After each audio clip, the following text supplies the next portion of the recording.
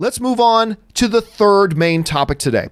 And our third main topic today gets sent in to us from Skates, who writes Charter Cable and Disney announced they are teaming up to combat account sharing for streaming services. I'm willing to bet that the majority of people share at least one account. Either they share with, with others or use an account belonging to somebody else. What are your thoughts on account sharing?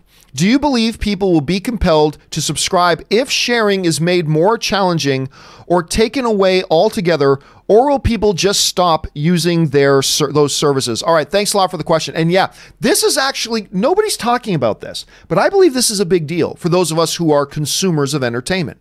I think this is this issue is actually a pretty big deal. So what he's talking about is this story came out where Disney and Charter, now Charter owns the Spectrum internet providing service.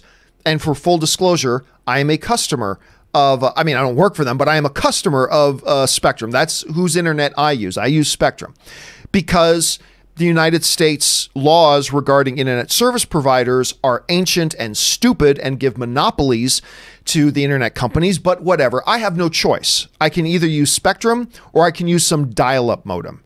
I really have no choice because that's how stupid it is here. Anyway, uh, they are my internet service provider.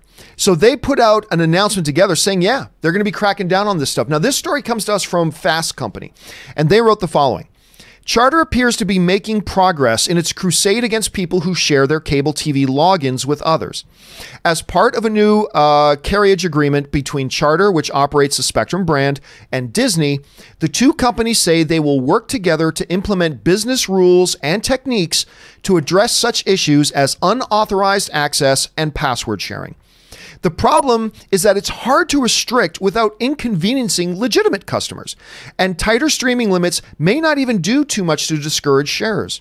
In February, a survey by cordcutting.com found that 16.5% of Hulu viewers were using a login from somebody else. So you might not think off the top of your head, oh, 16.5%, that's a small number. That's not a big deal. 16.5, that's just a tiny little number. Actually, it's a very, very significant number. Imagine you had total to your name $10,000. Total to your name. In, in my case, $10,000 would be two months' living expenses. All right. It's expensive to live here in LA. Okay.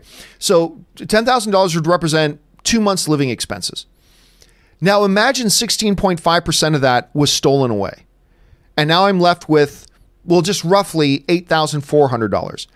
Now that is less than two months' expenses. That's over one month expense, but it's less than two months' living expenses now. That's a big chunk. That's a big chunk.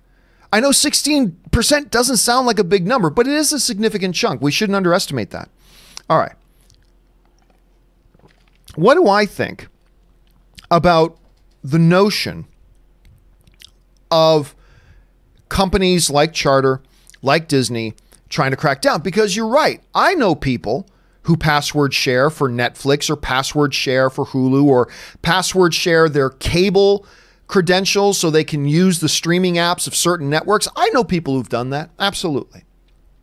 What do I think about that? Well, I mean, to be honest, it, it is stealing. I mean, look, and I know no this is not the popular thing to say. I know that, but I'm never afraid to say the unpopular thing. So here we go. When somebody creates a product or a service that is meant for sale and then you find a way to take that product or service without paying for it, that's stealing. The people providing that service or that product have done so with the intention of it being for sale and that customers can enjoy their service or product if they pay for it. And when we find ways to circumvent paying for it and are able to just take it and enjoy that service or that product without paying the creators of it, that's stealing. Nobody likes to talk about that. And, and it's not the cool thing to say. It's cool to say piracy's a-okay. It, it, that's the cool thing to say. And if I wanted to be cool and be popular, that's what I would say. But the reality is, it, it is what it is. It is what it is. So, on the one hand, I can't really blame personally I can't blame companies like a Charter or like a Disney that's getting ready to launch their Disney Plus service and they don't want people just one person getting the service and sharing it, the password with two or three of their friends. They don't want that happening. Charter doesn't want that happening. Uh, Spectrum doesn't want that happening. So I can totally get why I would say Disney companies like Disney and these providers are justified in trying to find ways to crack down on that stuff. I think they're justified in doing it. Is it the wise thing to do? It, like it said in the Fast Company article, the challenge here is going to be that how do you find ways to do that without inconveniencing the legitimate customers, right? Like I pay for Hulu. I have Hulu. I, I pay for Hulu and whatever. How can you find ways to make sure people aren't just sharing around passwords so everybody's stealing the Hulu service for free without making it cumbersome and inconvenient for me to use my legitimate usage of Hulu. And, and that's going to be the big challenge. That is going to be a challenge for them to do moving into the future. Now, do I think borrowing a password is amongst the great sins? No. no, I really don't. I mean, a lot of these services provide things that, hey, you can be streaming up to two uh, two on two different devices at the same time. Some even say you can stream up to like three or four or five devices at the same time. It's almost built in where they're almost like inviting you to share your password with some people. So still in theory, is it right? No, it's not right. But it isn't amongst the great sins? No, it's not amongst the great sins either.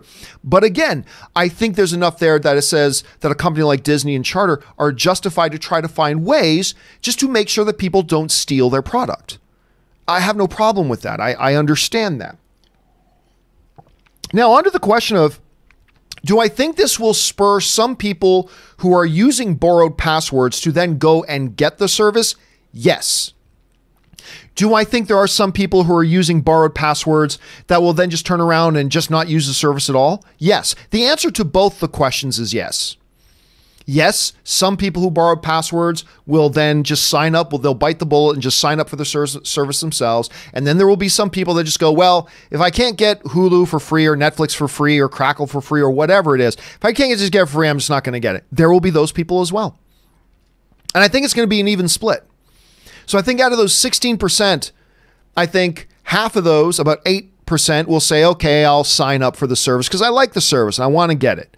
And then there'll be the other 8% that'll go, mm, yeah, well, then I'm just not going to watch it at all. But still, at the end of the day, I think these companies are justified in doing it.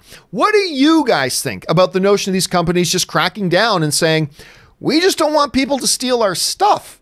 Is that unreasonable for them? Clearly, I don't think so, but maybe you've got some arguments as to why maybe it is unreasonable. I want to hear what you guys think about this. Jump down to the comments section below and let me know your thoughts.